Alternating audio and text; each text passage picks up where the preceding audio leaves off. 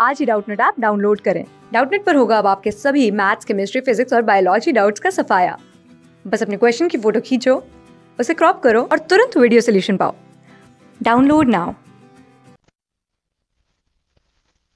Hello everyone so our question is simplify and express the result in power notation with positive exponent okay four to the power five divide by minus four to the power eight okay now see I can write this thing as 4 to the power what 5 upon we have what minus 4 to the power what 8.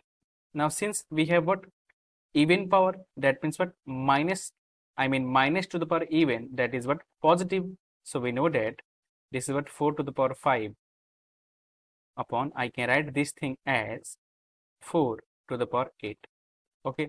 Or you can write this thing as you can write this thing you can write minus 4 as minus 4 into 1 uh, minus 4 into 4 so you can write this thing as also that minus 1 to the power 8 and we know that minus 1 to the power 8 is what? Plus 1 so that is what?